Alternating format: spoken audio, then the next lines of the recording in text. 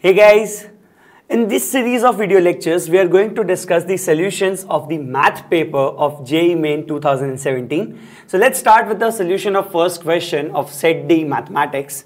The question is, if S is the set of distinct values of B for which the following system of linear equations, the given equations are here, has no solution, then.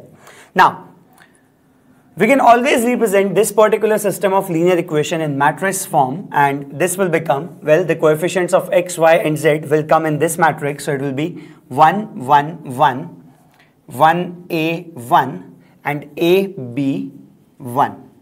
This matrix when multiplied with the matrix of x, y, z gives us the result as 1, 1, 0. Now, let's solve this.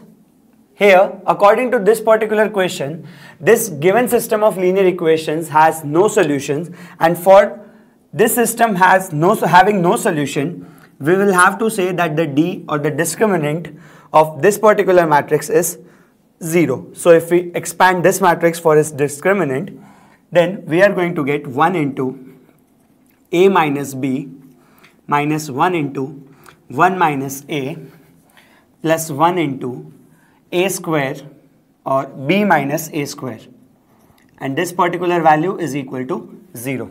Now if we expand this particular or simplify this particular solution then this will give us a minus b minus 1 plus a plus b minus a square is equal to 0. Now this b and b will cancel each other. We will have a square minus 2a plus 1 is equal to 0 upon rearranging. This will give us a minus 1 whole square is equal to 0 and hence the value of a will be equal to 1. Now, if we substitute the value of a as 1 in this particular matrix, then the given system will then become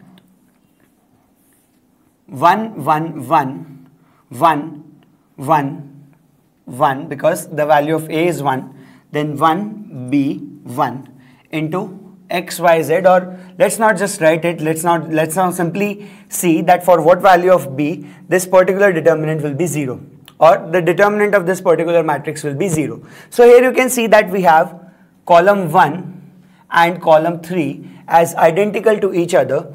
And so since c1 and c3 are identical the determinant of this particular matrix will always be 0 and since the determinant of this matrix will always be 0, we can say that for any value of b, because now the value of b will not matter as c1 and c3 are exactly identical. So this b can have any values. So for any value of b, the discriminant will be equal to 0. And so b can take infinite values and since we can take infinite values, hence S, the set which is given to us, is an infinite set. So, the correct answer is infinite set.